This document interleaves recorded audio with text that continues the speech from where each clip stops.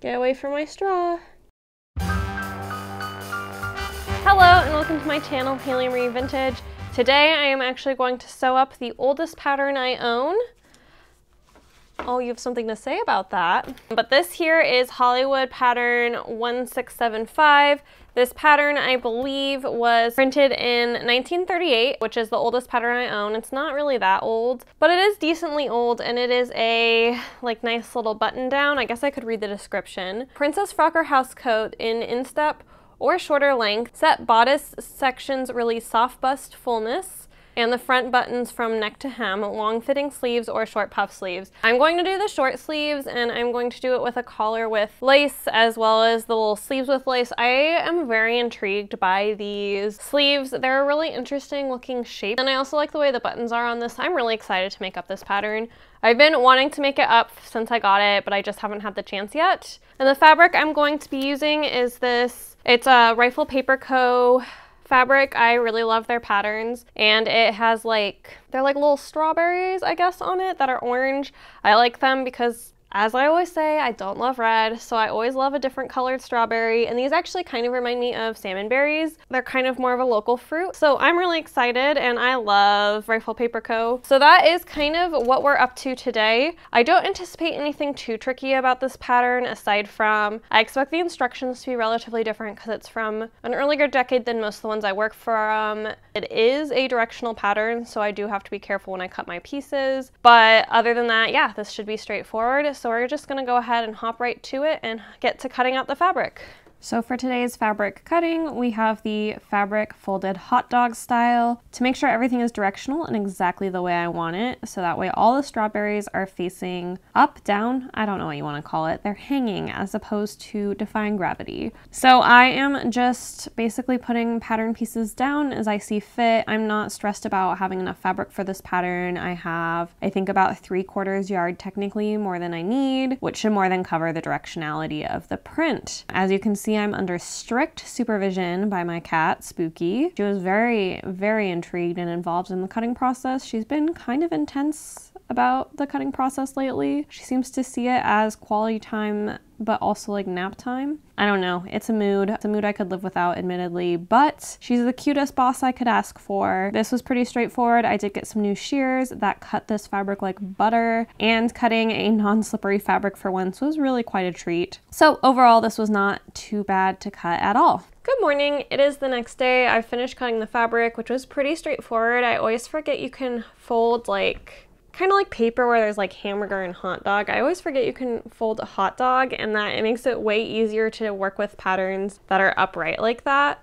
So I did that. It wasn't too bad, pretty quick. I also haven't worked with a sturdy cotton in a little bit and I forgot how easy they are to cut. And then I'm also going back and forth. I really should do bound buttonholes on this one, but honestly, like I don't want to because there's so many buttonholes. But I think I'm gonna muster through and I'm gonna do the bound buttonholes. And if I do bound buttonholes, I feel less strongly about needing interfacing. So it has pros and cons, I guess, even though interfacing takes way less time. But otherwise, this is a really straightforward pattern and I'm not particularly concerned with getting this done basically on the timeline I want. Um, I have two days to work on this one. And so I think today we're gonna take it pretty chill and we're just gonna get the main part of the dress assembled. And then my goal tomorrow will just be to put on the sleeves and the collar and probably like the final buttons or whatever. I feel like that's just the easiest thing to do. I think that's it. It's uh, it feels like that's like hardly anything, but it'll be good. It'll give me like half days of sewing instead. Yeah, spooky. More time for attention for the cat. With that, let's go ahead and hop into the sewing. Spooky. Today I am starting by showing you the threading of my machine. This is always the beginning of any project. And I'm also going to take this opportunity to real quick talk to you about the fact that your quality of thread matters. I bought this thread, it was cheap, and I really paid for it and the fact I had to really clean out my machine at the end of this project. There was just like little green fuzz everywhere, which means it's deep in my machine. This is why it's really important to buy quality thread. If there is one thing you're not going to scrimp on, ideally it is thread. First, I am starting by sewing up the front just because these are just slightly more complicated than the back panels and take a little bit more brain power, so I figured I'd get them out of the way. First, I am just starting with sewing the main front piece to like the side bottom front piece. Here I am just taking the time and sewing those together, as well as getting the gathers in for where the bust needs to gather. Those are going in these pieces that kind of look like big pockets, but they're pockets for your boobs. For the finishing of this seam, I am going with the classic old school method of pinking. This is a really dense cotton, so I'm not too worried about fraying, so pinking is a great option. And then here I am just ironing and prepping this area for the bust piece to go in. So I have ironed everything down and now I'm just clipping things so they'll lie a little bit nicer and flatter before pinning the bust piece in finally. This is actually going to be top stitched down and also making sure to get the gathers right at the end of this, I'm not quite sure I'm happy with how the gathers turned out, but they work and they do the job, so that's okay. And then here I am actually top stitching it. The reason I'm using this dark green thread is because you should always go dark with your top stitching, just because it being a lighter color than the rest of the fabric will really make it stand out. And that is definitely true here because this isn't that noticeable. And here I am picking out those stitches I used to put in the gathers. I have started to do this as I go as opposed to doing it all at the end just so I don't spend like so much time sitting there and having all I'm doing be pulling out basting stitches. And then here you can see me just folding over and sewing the edge of the facing. The way this pattern is designed, the facing just folds over onto itself. This is pretty standard for a collared pattern. This hasn't really changed that much throughout the decades. I think this starts to change about 60s, 70s, but this doesn't surprise me. This is the method they use in the late 30s. And with that all done, it is time to face what I've been dreading, bound buttonholes. So the first thing I have done here is I have put on interfacing onto the fabric so the like mouths of the buttonholes will stay nice and firm. And then I am just cutting out rectangles with pinking shears that I know will cover the amount of the buttonhole.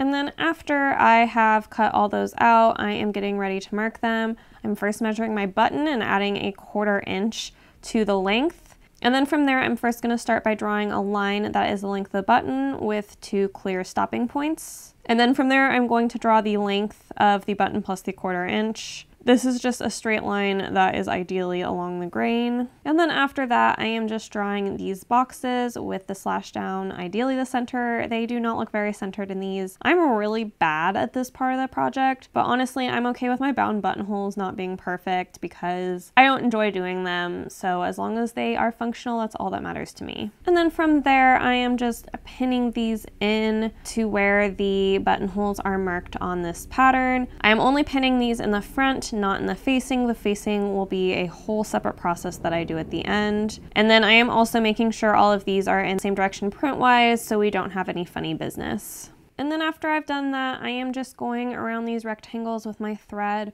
One of the reasons I don't stress about all of my rectangles being the same is I actually count each stitch as I go. I think these were 13 wide by 4 tall. So that's how I know they're the same even if my measuring was questionable. And then from there, I match up the corners of the rectangles using my pins, fold it, cut a slit down the center, and then kind of make a little letter shape with my snips. This just helps everything turn and to not have any weird corners. I will say I think this is the most successful set of bound buttonholes I've done purely from the fact that that the corners are not wrinkled or weird in any way, shape, or form. So I'm quite pleased with these. And then after you cut these out, you then turn the fabric into the inside and you use the flaps to kind of like push it together and give you the little bound buttonhole shape, kind of like the lips of the button. And then from there, I go ahead and I pin this down from the front to sew the corners so that way they are officially all ready to go. And then here I am actually sewing it. I am just going backwards and forward and backwards and forward and backwards and, and forward. It's like the quarter inch um, sides, the small sides of the rectangles. Um, this just secures everything down. And when you do this, you need to make sure the fabric underneath is laying nice and flat. If you don't, you might accidentally be making your bound buttonhole much harder to cut through. And then after these are all sewn, I am just cutting around the edges with my pinking shears again, and I'm just getting rid of a lot of excess fabric. After that, I am pinning together the back three panels. This is a center panel and two side panels to get it ready to sew to the front. And then after that is sewn, I am pinning the front side to the back side. Everything's matching up and looking great. And then I am just sewing that. And that finishes up the rest of my day. So I accomplished my goals with plenty of time to do other things in the day.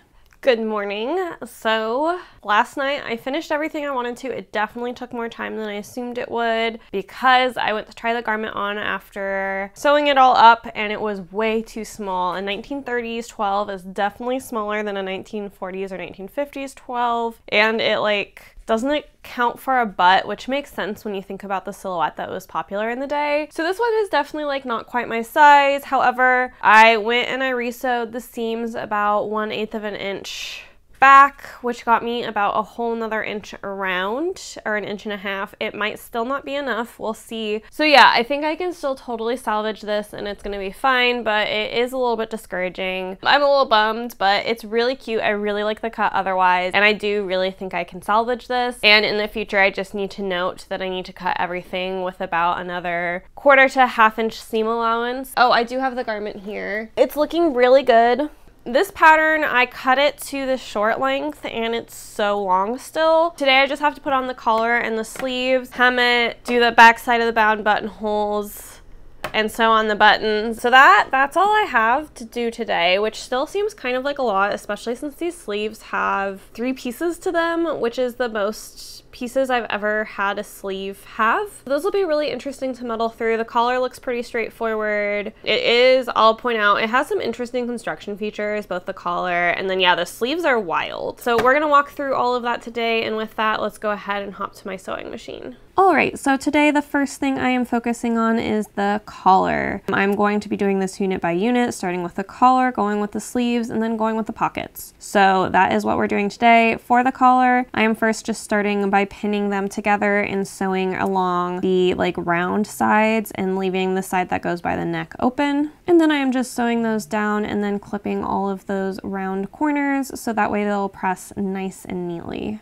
And from there, I am using my pressing tool to get all those little nooks and crannies out before then ironing them down and into place. For the collar, it's important to have kind of one side be nicer than the other because that's the side that's going to be facing up. In this case, I decided which side that was by first placing it on my dress to see where and how I wanted the strawberries to fit. I wanted the strawberries to follow the direction of the dress with them going downward in the back as opposed to upward uh, or being upside down and so I figured that out and then we were good to go. Everything for the collar worked out. I am just pinning one side down on the neck. This is actually some interesting construction. I start doing it wrong because this is usually the way most patterns have you do it, where you sew it to the correct side and then you're gonna hand stitch the inside with bias binding. However, this is one of the differences between a late 30s patterns and the rest of the patterns in my collection. They actually have you sew it to the inside so then when the collar is popped up and out, the um, hand stitching is actually under the collar where you can't see it and you have a nice clean finish on the inside of the garment where you see the collar more, if that makes sense. I feel like it's a very confusing thing to explain, um, but it is a different way of constructing a collar and was quite enjoyable to learn a different way and I definitely think I prefer this.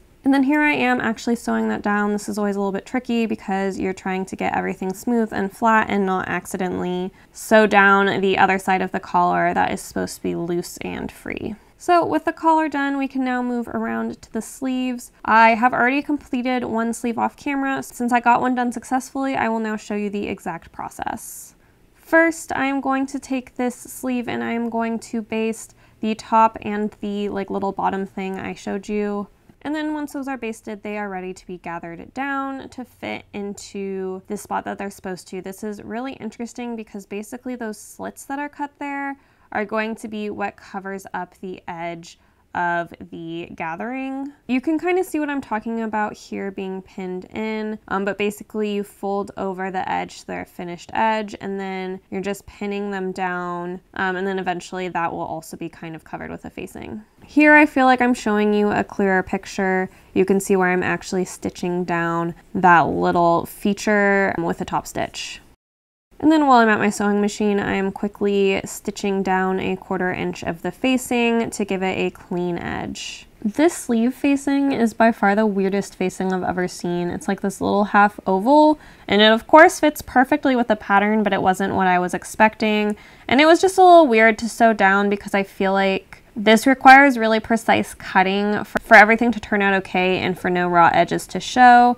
I managed to make it work. However, I would not say it's like as pristine as it could be. And then here I have sewn it and I am just getting it ready to press. I'm making sure the outside edge is really, really nice and clean and the inside edge can be more debatable. And now that that is all pressed and ready to go, I'm going to real quick just sew it all down with some hand stitching. And with that being done, I am now just gathering down the sleeve head where it tells me to. I am matching all of my marks to get the proper puff. And then I'm just easing that into like the sleeve part of the dress. And we're getting close to being finished with the sleeve. And then here I'm sewing the sleeve in. I am just going around the circle. I don't actually use the sleeve thing on my machine that much because it's usually too wide for like the narrowness of older pattern styled sleeves. So I'm just trying to make sure to remember to take out my pins because they're a huge pain in the butt when you're sewing a sleeve like this. And I'm just trying to make sure none of my fabric that is on the bodice of the dress wrinkles and the gathers stay only in the sleeve. And then after that, I am sewing what they call the sleeve stiffener. This is supposed to make the puff go better, and it's basically an oval folded in half and then sewn down. Here I am inserting that stiffener. I also put in some gathering stitches because this helps it fit correctly and add that volume. This piece, from my understanding, is supposed to just help your sleeve help your sleeve be stiffer. I do know that sometimes in later decades they have you make these out of tulle. There was no mention of tulle in this pattern, however, and I actually liked using the plain old cotton for this because I felt like it gave me the stiffness I needed without the irritation of tulle against my skin. So this was a really cool technique and I was great to learn. And then when I sewed it in, I just sewed it an eighth of an inch away from the the edge of the stitching that I actually put the sleeve in so that way you can't see it on the outside at all. And from here, we are getting close to the end. I am working on a pocket here. I've already folded over one of the edges and sewn it down to give me a finished edge. And then here I am doing the parameter of the pocket where you just fold it over and baste it around so it is all set down and ready for you to actually sew it to the garment itself because you will top stitch that. From here, I have taken that pocket and I am folding the edge where they tell me to so that way I have that nice thick clean edge on the top of my pocket and none of the inside shows when I'm wearing the garment. And I'm just hand stitching that down. They don't explicitly say to do this in the pattern, but I've learned from experience. It's the better thing to do so that way like if you have something in your pocket and you're pulling it out, it can't get caught up in that fold. And then from here, I am just putting the pocket according to where the markings on the back of the dress tell me to. So I'm just gonna pin that down and then I'm gonna top stitch around it and I have my final pocket all ready to go. From here, I am going ahead and doing some hand stitching. So here I am stitching down all of the facings that go over where the buttonholes are. This is just a step to get things ready for when I put in the buttons and do everything else to finish the garment. I'm mainly doing this because I want to be able to get the hem in. And then after that is done, I turn my focus to the hem. First, I am just folding it over by a quarter inch and sewing it down to get another finished edge. And then I'm using a hemming method I learned recently from a pattern that is running gathering stitches up at the top of the hem and then gathering and easing it in to get a really, really smooth and beautifully curved hem down at the bottom of the dress. This is now my go-to way for gathering dresses that have kind of that circularity or roundness. It's a bunch of extra fewer steps, but the hem comes out so clean, it is worth it. Ever since I learned this trick, I actually end up with circular hems I'm happy with, and I definitely was never happy with my circular hems before this. And now with that done, I am going to hand sew down around the bottom. I am just doing one of the stitches that I don't know what it's called, but you just pick up one stitch on the front and do the bulk of your stitching on the back. And here I am finally tackling the backside of these bound buttonholes. So what I'm doing is I am cutting that weird envelope shape again, but in the back, and then I'm folding all of those edges down and then whip stitching around them to keep them anchored. And this gives you a nice clean finish on the inside of your bound buttonholes. Uh, but it is tedious, and one of the reasons I don't enjoy doing bound buttonholes is it feels like the steps are endless. However, they are worth it. They wash way better and just work better than machine stitched buttonholes, so I will try not to be too bitter. And now we are getting to the final touches for this garment. I'm really excited. So the first thing I'm doing here is I'm fastening on the button. And then the last thing I'm doing is I am going to sew down all of the lace. It's really interesting because once you get in the 70s, they have you like sandwich your lace in between the collar like you would have done that way at the beginning. Um, but in the 40s, they actually usually have you sew the lace down afterwards by hand so that way you can take it off to wash it if it's fragile or delicate or you can take it off to change the look of your garments. They use their garments a lot longer there and so they wanted more options of how to switch up their original garment. So I always think that's a really cool thing that you see in older patterns that once you hit about the 70s you no longer tend to see. But with that, I am now ready for the reveal and I can't wait for you to see this dress.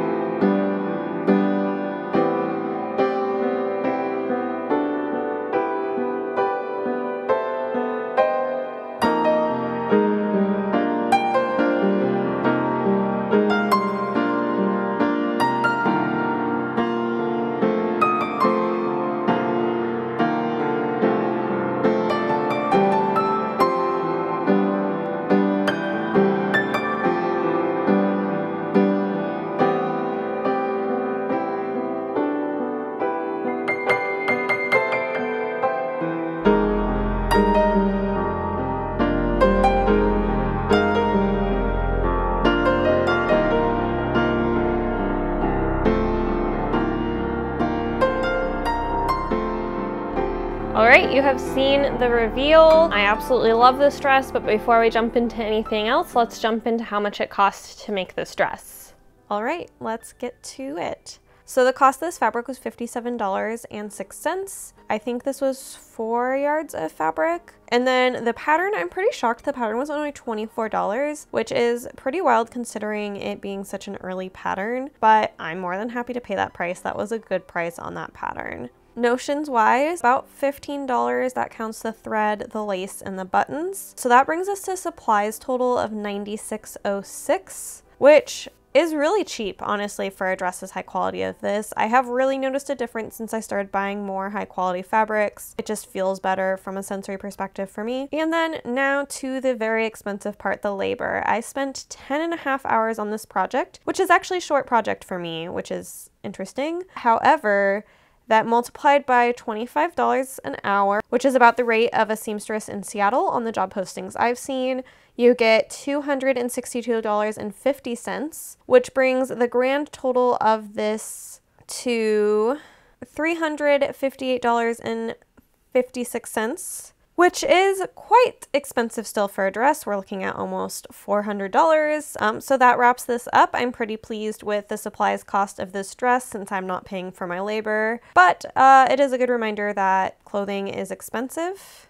So with that, let's go ahead and head back over to the wrap up. Now that we've done that, let's talk more about the project itself. I have the dress here. I've worn it to work actually today. It's the very end of my workday. I just changed into this top. I really, really like this pattern. I think it turned out really cute and it's also really comfortable. Like I wasn't dying to take it off at the end of the day. I probably could have worn it longer. The sleeves weren't too tight. The shoulders weren't too restricted. Everything fit-wise was pretty good with this dress. The one thing which you can see it in the reveal too is it kind of like gauges and does weird things here. So I'm just gonna put some snaps so it at least lays flat. I don't think I even have like anything about this that I would change. I love the buttons. I really like the lace I chose and the lace placement. I didn't put it on the sleeves because it was gonna be too itchy and that was definitely the right call because the sleeves were nice. I absolutely love this fabric. I feel really cute in this dress. Collar lays really nice which it did do that different um, sewing technique than what I'm used to sewing for a collar. So it's interesting to see how much nicer this lays for me than a lot of the collars I do using a more modern technique. The sleeves, they were like a weird experience to make, but now that I've made them, I'll definitely be sticking these on random things because I really like the shape of them. Was the biggest reason I chose this pattern.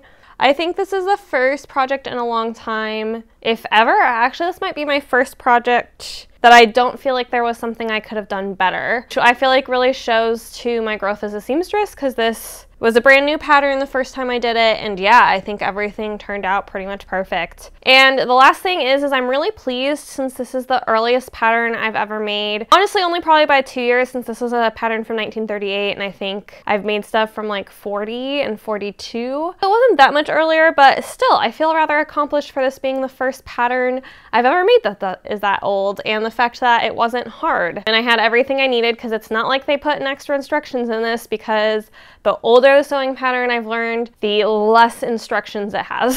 We're gonna go ahead and wrap this up. Definitely subscribe and stick around if you haven't already. I have really great sewing projects coming up. We're gonna do, I think, six weeks in a row of sewing projects for October. So definitely stay tuned for that. And otherwise, you can always like this video or leave a comment down below. Both really help me in the algorithm. And hopefully I will see you next time. Bye!